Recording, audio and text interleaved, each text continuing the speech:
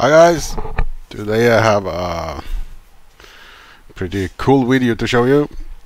I had this print I was trying to do. It's probably hard for you guys to see, but uh, let's see which side was it.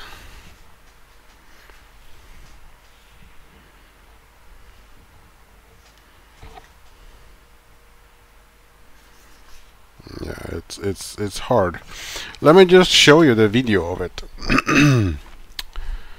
um, let me see if I can find it.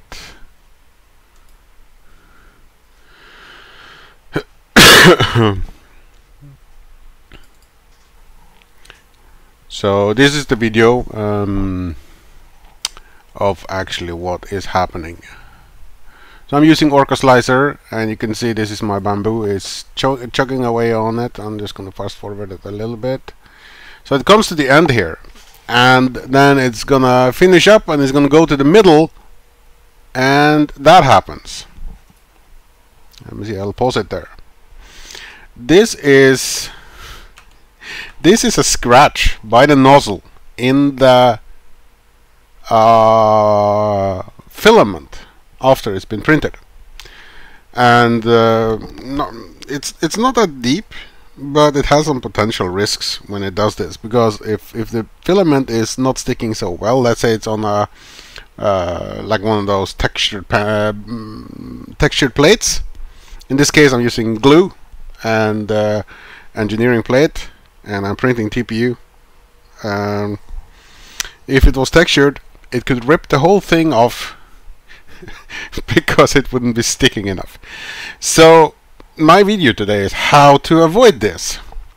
Well, it turns out I found uh, an article online regarding this. Uh, I'm gonna see if I can find it. Uh, let's see, that's that one and this. Uh, let me see I can drag it out. So here here it basically is. Ah, it's not always easy to uh, to fix things. So uh, the problem was other people also had this uh, scratch when it was traveling from one point to another to start a different object and I didn't know what was causing this, but I, I managed to scrape through this article by what someone called. Uh, he had an answer was in Igianakas or something like that. Uh, this from 2003, but the option actually works for this. So basically, it's he says that uh, to to avoid scratching the surface of your your infill after you print you should disable the option called reduce infill retraction. And that is inside the others option in Orca slicers you have this reduce infill retraction. The, by default it's marked. So it's hooked. And then you also need to go into the settings of your nozzle and to the extruders extruder settings and uh, you basically uh, you have to uh, set a travel distance threshold. In this case, he has set it to two millimeters. I think that's kind of big. Uh, the smaller that is, the less chance it is that it will scrape when you when you hit. So if you're just gonna go a certain distance to another object where there's a lot of detail, uh, so I tried to set this to 0.1 millimeter because I don't actually want it to scrape anything. And the Z-hop distance here, I I, um, I changed mine to 1.8 because I wanted to retract the filament 1.8 before it jumps. So uh, because it's TPU, so it's a lot of flowing easily. But I left the Z-hop retraction to 0.4 like he had here. Uh, so let's see uh, the these are my before settings as you can see. This is the settings I used when it scraped the TPU as you can see.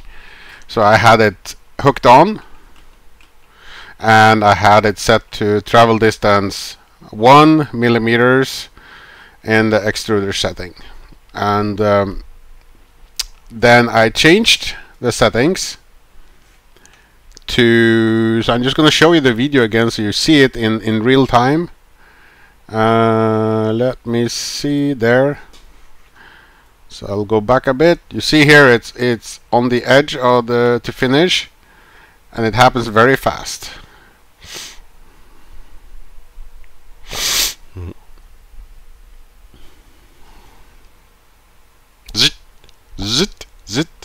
so it's actually actually it scrapes the filament three times.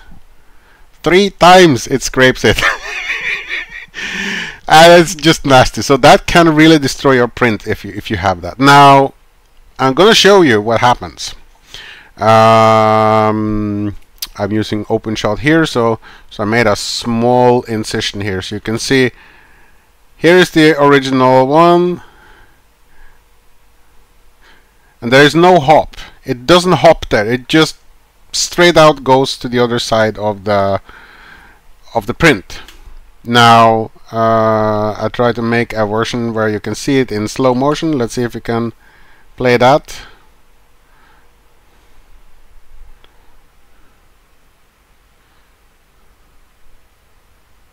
Now it should take off and there is no Z-hop see that's the end. It's like cutting it with a laser. Then it do a circle because I have a circle there and then it goes back. Same thing scraping with the nozzle. And then it goes back again. And then it does a Z-hop because it changes to the next layer which is in the settings. But the thing is this can create deformity in the in the prints. So the setting that you use is I'm gonna I'm gonna play it in the media player instead because it's it's easier to see. So so this is after the settings. Let's see. So you come to the end. I'm just moving it a bit fast forward. And it will do a setup. When it hits the end it will do a hop.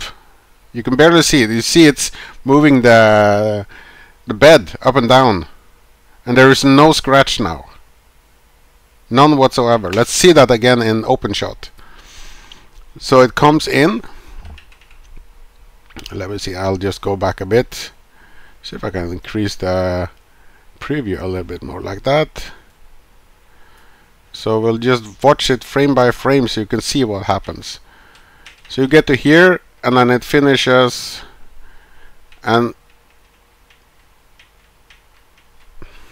don't know if you can see but right before there notice. There. Notice the bed it's it's lowering itself by 0.4 millimeters just before the head lifts.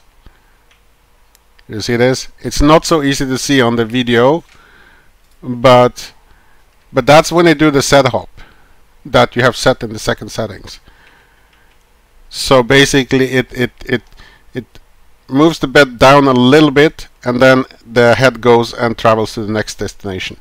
Um, I can see one problem with this is if you have the retraction set wrongly it will not retract the filament before it jumps enough and you will get stringing. So you need to test this on a certain print that you're doing. Uh, for me this was a really good solution for my filament because you see when you play it in in, in full speed that's when it jumps. You see it goes back and forth and it doesn't really create a scratch anymore. So if you have these problems with your filament scratching then what you should do is you go into your let me see I can find my Orca settings. Uh, so basically it's under others then you scroll down and find G code input and you take this setting here uh, which basically says don't retract when the travel is entirely in an infill area that means the oozing can't be seen this can reduce times of retraction for complex model and saving printing time but make slicing and G-code generation slower. I think I added this at some point because I'm, i have a vague recollection recollection I wanted to save time. But what this did is a really bad thing because it scrapes. So don't leave that on. Remove that and also you need to go into the nozzle properties here. And then extruder and then you need to change this value here for travel distance threshold. In my case I set that to 0.1 it means that if uh, if it comes and an area is uh, less than 0.1 millimeters apart like if you have two objects close and you're printing with a 0.2 nozzle uh, and the objects are less than 0.1 millimeters apart then it will not hop. But if it's if you set it to like 2 it will hop if it's less than 2 millimeters it will not hop so if if you set it to 3 and it's less than 3 millimeters apart from the distance it wants to hop it will not hop but if you set this to 0.1 like I've done here it will basically not uh, hop at all because most models don't have that lower value. Um, so yeah, uh, I thought that would be an interesting video for you guys to see.